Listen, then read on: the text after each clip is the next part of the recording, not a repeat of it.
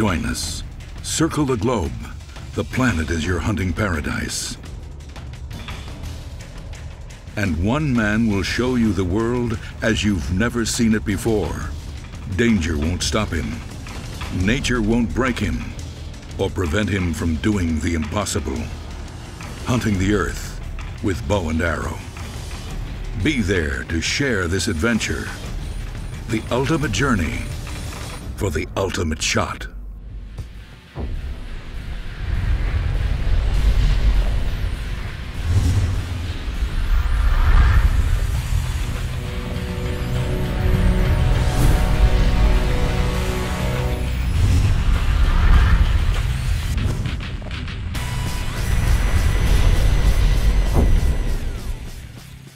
Many animals in Africa are territorial, and they'll stake out their domain. In this episode of Ultimate Shot, you'll see what happens when a male puku invades the territory and domain of another dominant male. Stay tuned for the Ultimate Shot. During my hunting adventures, I have been able to see many African countries, each one unique with its own natural and cultural places of interest each one exhibiting a fragment of the incredible animal world which makes the African continent so varied and coveted by us as hunters. But there is one thing in which all the animal world here is united, and this is water. During the dry season, when even big rivers like the Luangwa have shrunk more than three times, water becomes the gravitational force for all antelope, elephants, and buffalo herds, not to speak of the pools crowded with hippos. At such times, we the hunters, lucky enough to be here, feel immersed in a world of plenty. Our dreams come true. I am here sitting in front of the camp, and 40 meters behind me, crossing the river, is an elephant, which, while I am putting down these notes, splashes noisily through the shallows. I feel free to do what I have always dreamed of to dash off into the bush along an antelope trail only with my bow and arrows, the way our forefathers did. Is it, there's something else in there, isn't there? No. Oh. Cuckoo was right. As you have guessed, today we will head upriver and try to find one specific animal. According to our host PJ, the puku antelope he saw there two days ago was very, very big. I will look after these ones. If I see a guinea fowl, that's right. He's trying to catch up on guinea fowl. He's got guinea fowl already. On our way, we would also try our luck with bushbuck, as the road anyway ran parallel to the winding river. I might be able to take a shot at some old hippo, too. The day promised to be nice after the aromatic coffee and the dramatic view in front of camp. Andre's two sons expressed their desire to accompany us, so we would have reinforcements in the search for guinea fowl. PJ explained that they were skilled marksmen, and if we happened to miss shooting some fresh chicken for the kitchen, they would save the day. There was nothing to fear today, as we had at our disposal three professional hunters as our leaders.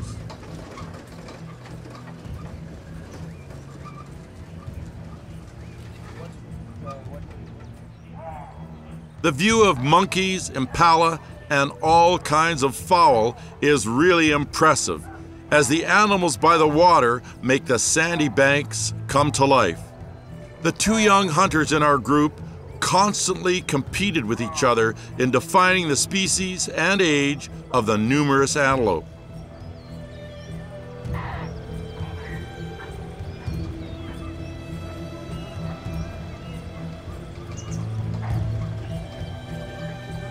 They even tried to measure the circumference of an age old rubber tree.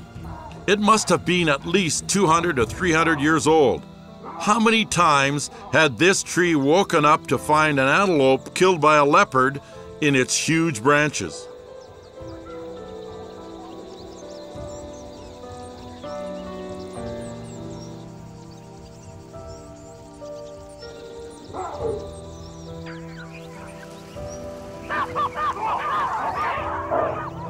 While we drove the truck slowly along the river, the sound of a water buck made us get down from the truck and examine very carefully the place which looked full of life.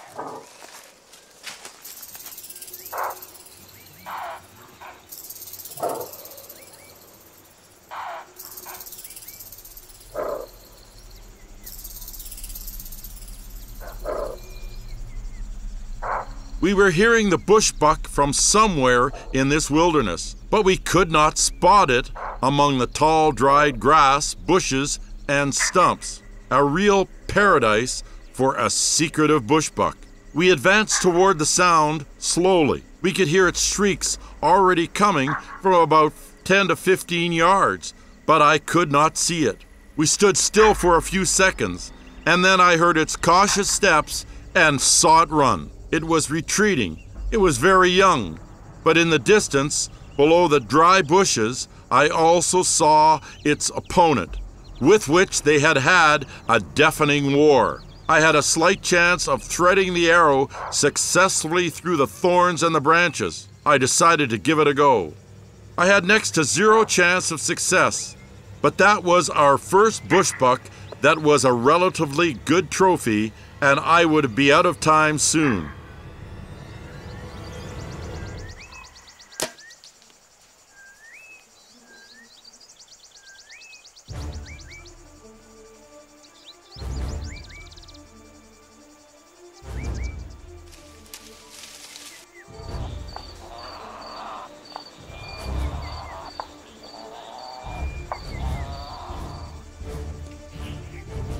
The next antelope that we tried to approach was a beautiful puku, an old male with elegant twisted horns which were spread wide at the top.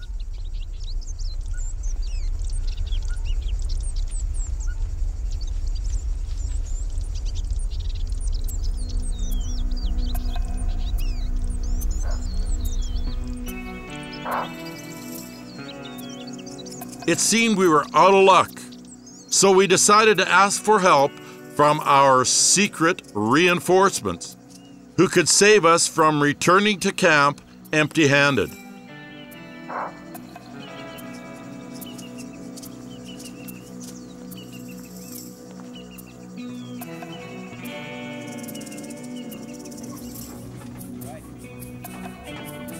Our secret weapons had to be put into use.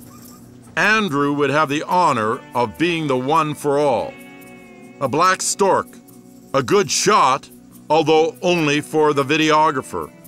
Andrew had to hit something rather smaller and far more deceptive among the dry grasses on the ground guinea fowl. Guinea fowl were not easy to hunt at all. They are among the most widely spread on the African continent. You find them almost everywhere and most probably they have run the whole way there because they are exceptional runners and fly only as a last resort. It would not be easy to catch up with them, and I could also try to shoot with my smooth barreled gun. Andrew would have to cope with his small caliber gun from a very long distance.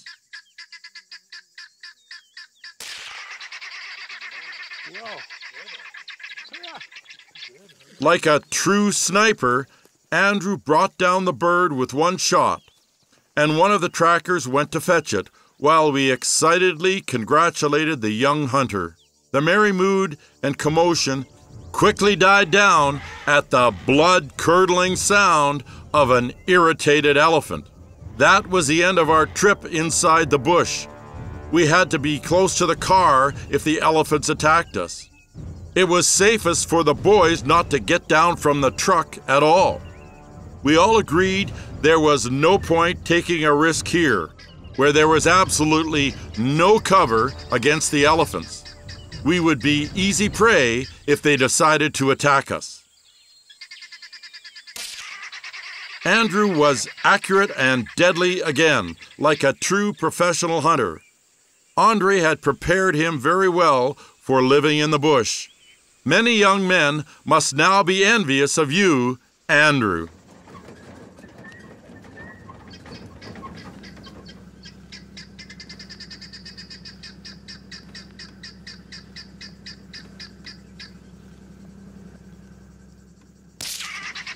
That was three out of three for Andrew. The result was a little unnerving for us, the other hunters in the truck. The only one not envious of the boy at the moment was Mark, because he knew he was a better fisherman.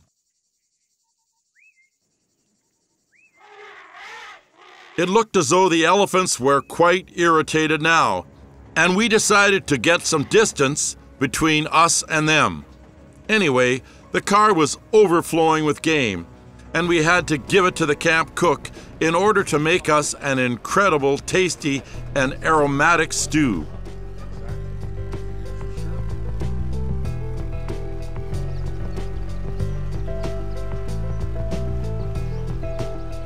Mark was quick to boast of his brother's hunting feat.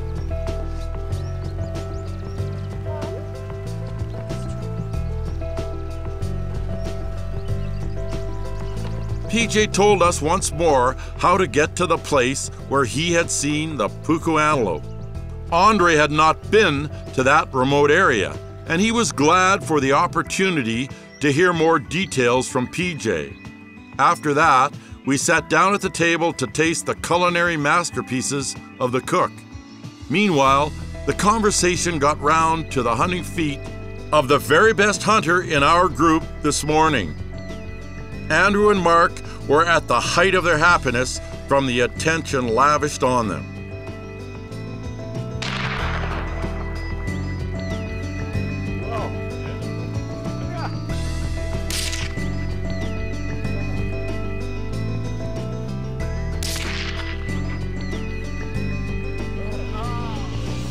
In this episode of Ultimate Shot, you'll see what happens when transient hippo bulls invade the domain of dominant herd bulls. Stay tuned for the Ultimate Shot.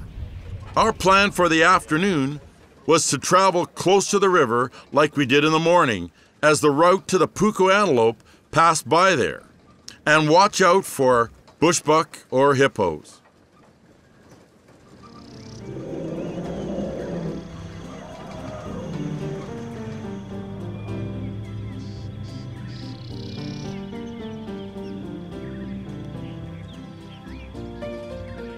This elephant herd was very close to camp. It was very interesting for me that the elephants realized the camp was not a threat to them and wandered absolutely freely among the huts every night. Well, not every, but every other night. Interestingly, one night before I went to bed, Spook, the camp elephant, which regularly checked if we had left any alcohol at the bar, munched on leaves for a long time about 10 inches away from me behind the brittle reed wall, and I was sure it knew I was there. This place was really very exciting, and if it were not for the flies, I could stay and live here.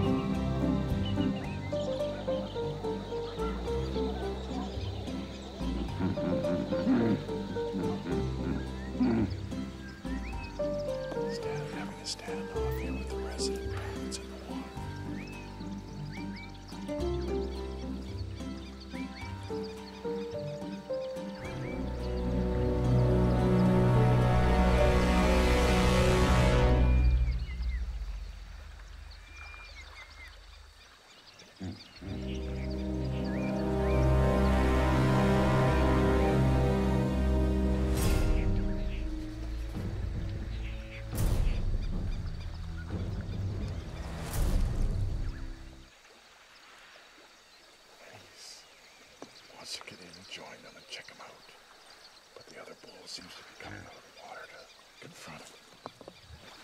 Yeah, that, the dominant bull is not going to let that new bull come anywhere near his calf. So he's threatening him with that shaking of the tail, showing submission to the big bull. Our coming to the river was not in vain. We watched a real duel between two male hippos we were witnesses to the direct clash between the pretender and the herd's leader.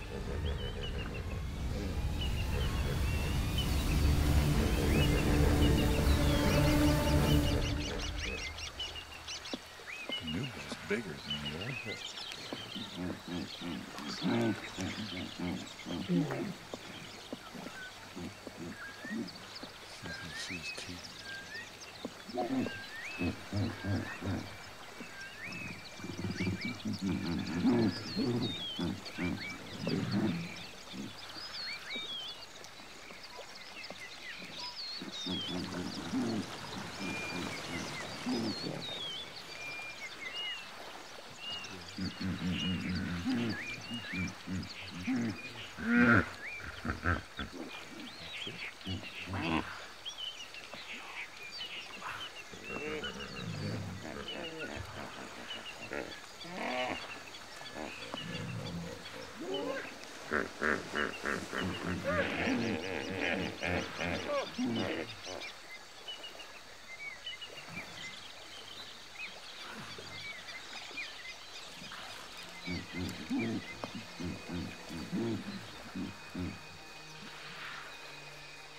Yeah, Archie, you can see. Or realizes he's the, the loser. and Th- This guy's probably been a loser a few times. He's on the road. Look, he's on the road big time trying to find. So we need to watch that guy, see where he goes. Yeah. With a fairly good likelihood be alone up in waters. Yes. Yeah. I he'd be a really good one to take. Yeah. I do too. You know, the chance that he's got um, abnormally long teeth is, Yeah. is big. Yeah. So Yeah. we need to watch him, see where he goes. Mm, mm, mm, he's not getting in this pool, that's for sure. They will spend a lot of time resting outside the river in thickets.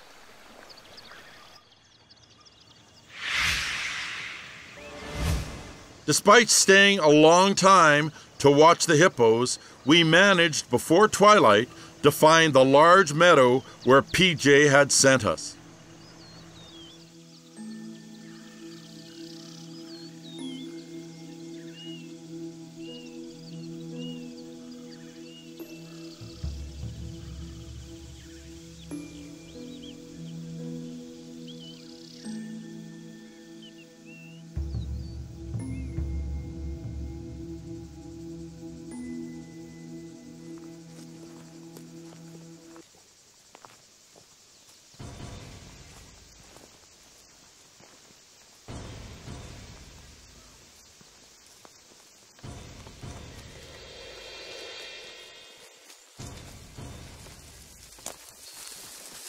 I even think we saw the animal in question. It may have been a different one, but it certainly could be distinguished among the others with its big horns. We had to find a way to approach it in this open terrain. We did not intend to crawl for an hour towards it, so we chose the risky move of detouring in an arc and using a tree and a group of bushes as cover in order to get to at least 70 to 80 yards so I had a chance of a shot.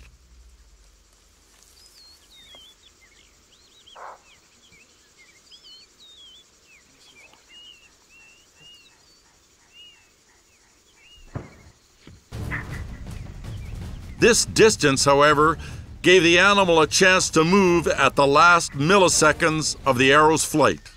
He's coming back. He's coming back. He's definitely coming back.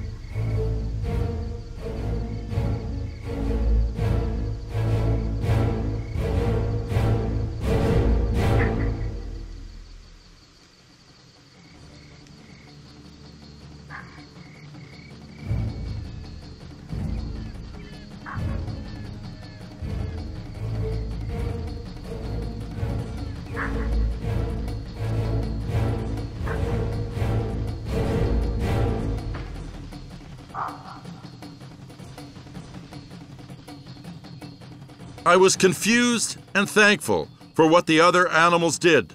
They literally brought me back the wounded puku, as you can see too. I still cannot fathom it, but it was the biggest puku antelope ever taken with a bow, the new world record.